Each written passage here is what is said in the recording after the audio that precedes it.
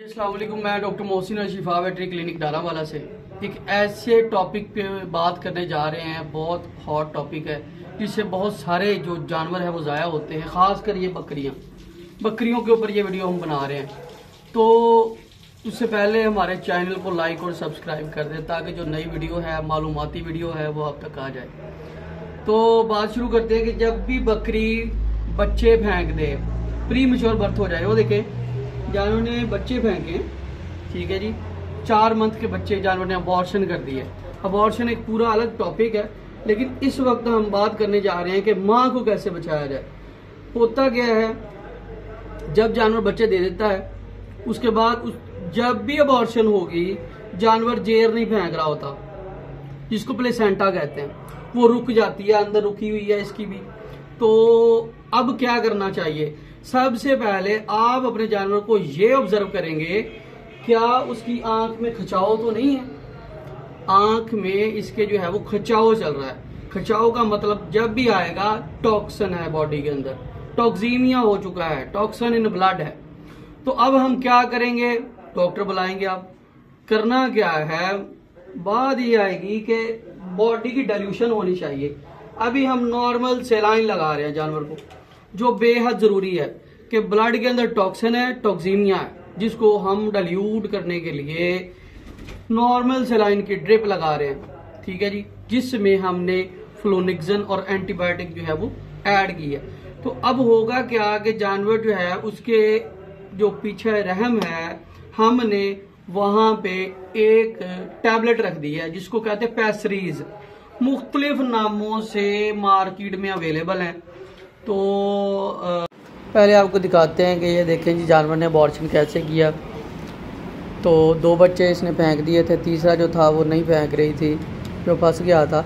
उसको जो है वो हमने असिस्टेड काविंग के ज़रिए यानी कि खड़ी बकरी का बच्चा जो है वो हमने निकाला। ये देखें प्री मच्योर बर्थ है और बच्चा जो है वो तकरीबन चार माह का बच्चा है और इसके बाद हमने जो है वो इसके टैबलेट रखी। तो अभी हम जो है वो आपको बता रहे हैं कैसे जो टैबलेट है वो इंसर्ट करते हैं यूट्रस के अंदर कैसे रखते हैं गोली को बकरी के अंदर। तो ये देखिए बकरी जो है वो खड़ी की है और उसको हैंडल किया जा रहा है। और आर्टरी फोरसेप के ज़रिए जो है वो आ, हम उसके अंदर रख के आ रहे हैं। तो ये इन्फेक्शन कंट्रोल करने के लिए है। अभी हमने जो फिट्रोक्सीमिन की टैबलेट जो है वो रहम के अंदर रख दी है। बकरियों में हम जेर नहीं निकाल सकते हाथ से। अगर नहीं निकल रही तो नहीं निकाल सकते।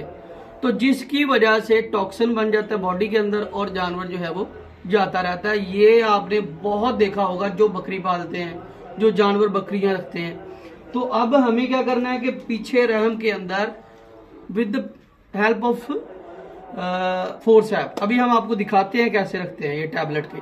ठीक है जी?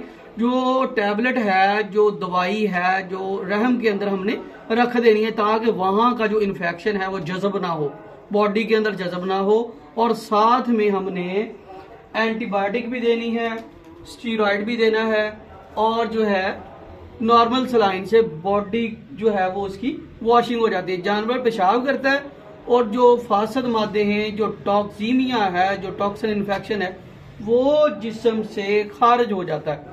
तो ये अमल आप लाजमी करें। उसके बाद तीन से चार दिन आप एंटीबायोटिक का कोर्स करें और साथ एक अच्छा एनसेट जो है वो ज़रूर लगाएँ। तो इन शजीज जानवर जो है वो बच जाएगा, उसको कोई मसला नहीं आएगा। तो उम्मीद करते हैं कि ये जो मेन पॉइंट है, आप इसको जहन में रखेंगे। और आपके लिए ये वीडियो बहुत मालूमती है। उम्मीद करते हैं। तो मज़ीद ऐसी मालूम के लिए हमारे साथ जुड़े रहें। बहुत शुक्रिया।